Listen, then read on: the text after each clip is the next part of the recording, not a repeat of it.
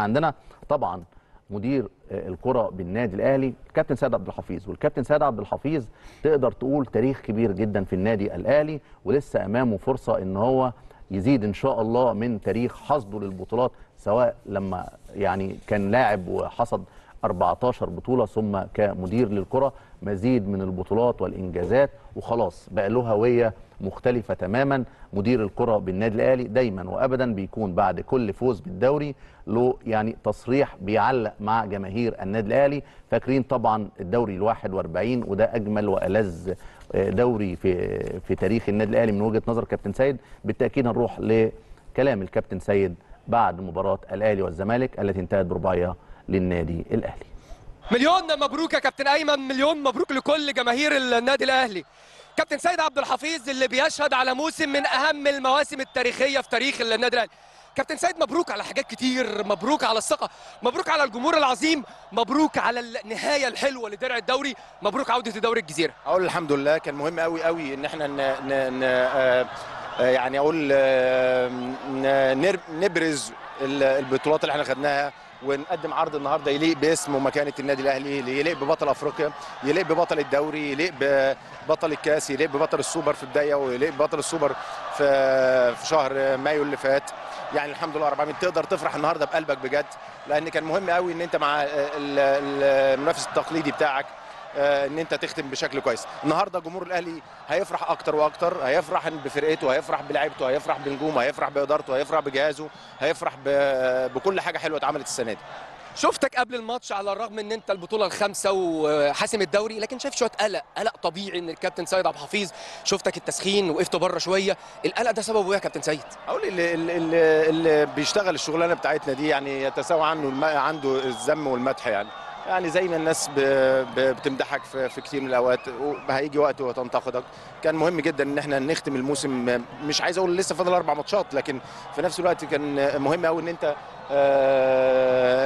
تقول للجمهور اللي جاي يستمتع ده إن ده بطل أفريقيا وإن ده بطل الدوري. مكسب كبير قوي على نادي الزمالك 4 4 1 عايز أقول عايز أقول حاجة مهمة جدا يعني. يعني الحمد لله طبعا على كل حاجة لكن لكن يعني في في حاجات ممكن إن أنت تفرح بيها. بطولة بطولة تكون بتكسب منافس تقليدي بتاعك يعني. يعني كلام مهم جدا في فكرة إزاي تفنش الموسم صح. لأن بالتأكيد ودي نقطة إيجابية أيضا بالمناسبة في النادي الأهلي لما يحول طموحات المنافسين ليك إن هو يفسد عليك فرحتك. يعني دي بطولة السنة دي إن أنا عايز أفسد عليك فرحتك. لكن الحقيقة النادي الأهلي لم يترك شماعة للمنافسين إلا وكسرها. لم يترك شماعة إلا وحطمها. إن أنت أمام النادي الأهلي في هذا الموسم لا تمتلك سوى الصمت. الصمت في حرم الجمال. جمال الموسم اللي بيقدمه النادي الأهلي. وعشان كده كان مهم جدا جدا في مباراة القمة تحط حبة الكريز على الموسم. حبة الكريز بمعنى حبة الكريز على الموسم بتاعك. وبالفعل أنهيت المباراة بفوز مريح تماما مباراة منتهية تماما من الشوط الأول. وزي ما قلنا كنت رحيم جدا بفكرة المنافس واكتفيت بأربع أهداف في شباك المنافس. ده حقيقي وكان مهم جدا لحقه النادي الأهلي ولكن أحد أبطال مشهد النادي الأهلي وموسم النادي الأهلي وأنا بشوفه إن هو الصفقة الأهم للنادي الأهلي مش بس الموسم الحالي ولكن في رأيي منذ رحيل مستر مانويل جوزيه عن النادي الأهلي هو العظيم الاستثنائي مستر مارسيل كولر. تعالوا وإحنا بنشوف بيقول إيه عن الفوز.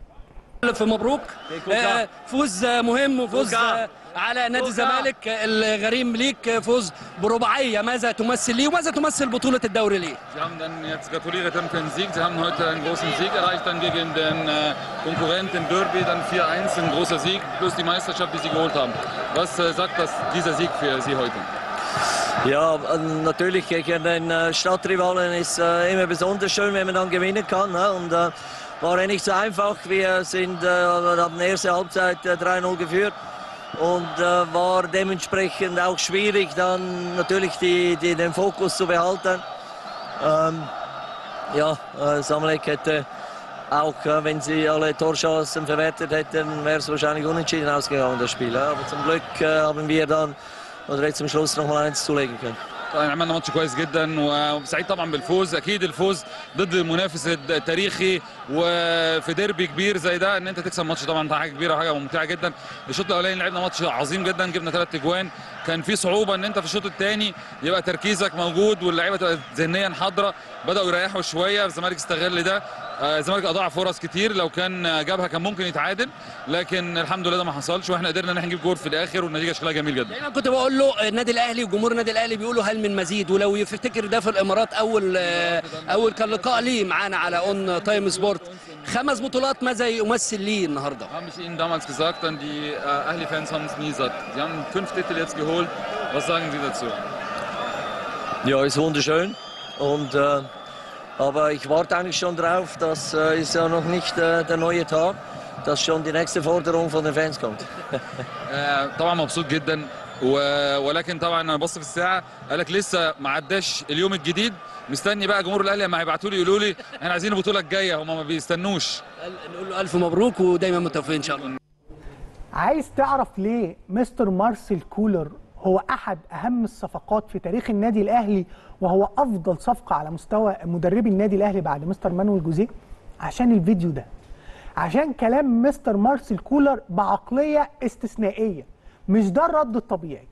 مش ده الرد بتاع الناس اللي مفترض ترد رد يعني استهلاكي أو في حذر. يعني إيه؟ يعني لما يتقال أنت الموسم ده حققت كل حاجة جمهور النادي الأهلي أنت عارفه دايما متطلع تقول له إيه؟